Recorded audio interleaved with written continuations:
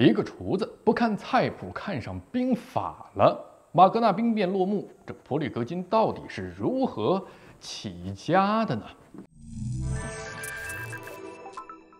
大家好，我是李哲。六月二十五号。普里戈金率领的瓦格纳雇佣兵军团在距离莫斯科只剩八十公里的地点停下了前进的脚步。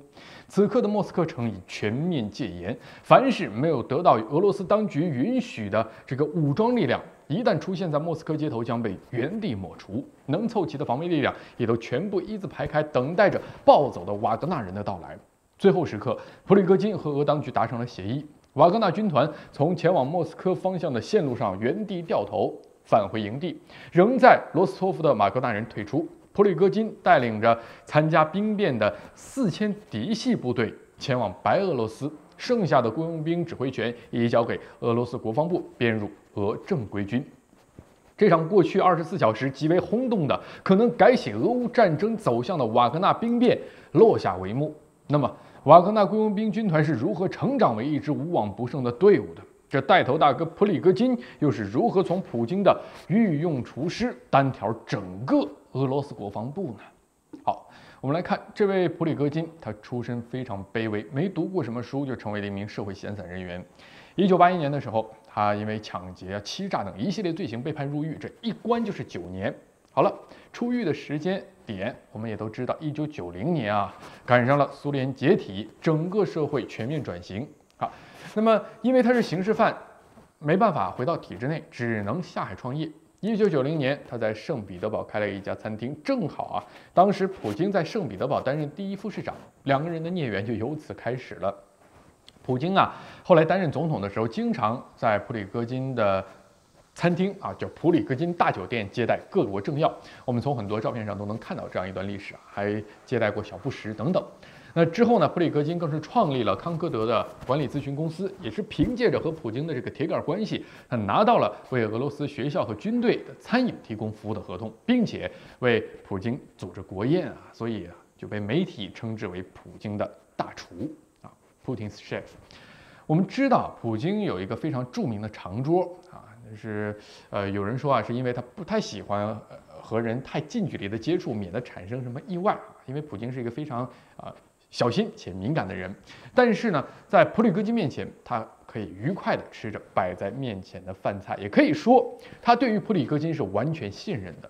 至此，钱啊，对于普里戈金来说已经不是什么问题了，他所需要的更多。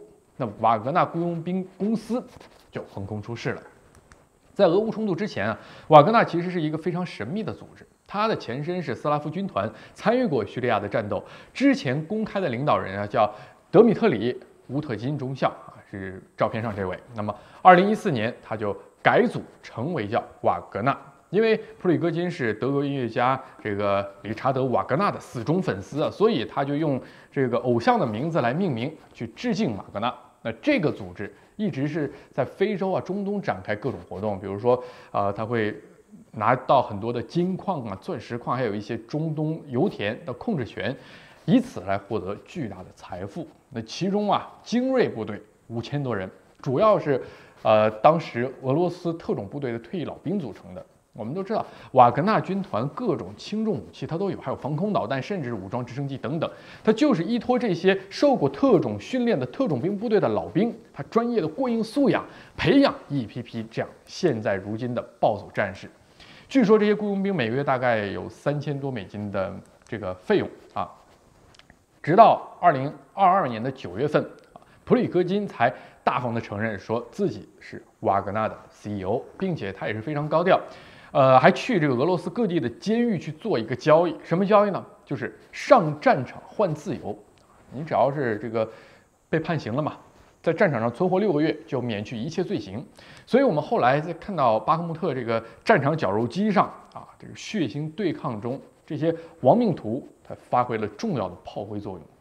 瓦格纳军团拿下巴赫穆特，成为了俄罗斯的英雄军团，在世界上也打出了名声。这势力也是越来越大，战斗力越来越强，也为之后这场兵变埋下了祸根。瓦格纳啊最高是拥有八万战士，其中前往莫斯科的总共有两万五千人。历史啊，神奇就在于它没有边界，随时都可能牵一发而动全身。让普里戈金从拼尽全力为俄罗斯当局卖命到刀刃向内的重要原因，也就是普里戈金和俄罗斯国防部绍伊古和参谋总长啊这个格拉西莫夫的矛盾。而俄罗斯国防部提出的和志愿兵部队签订一个新的合同，将一切非政府武装收编国有这件事儿，爆发了这次瓦格纳冲击莫斯科的上访事件。具体是怎么回事呢？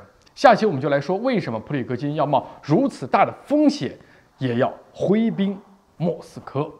好，历史观察今天就是这样，下期再见。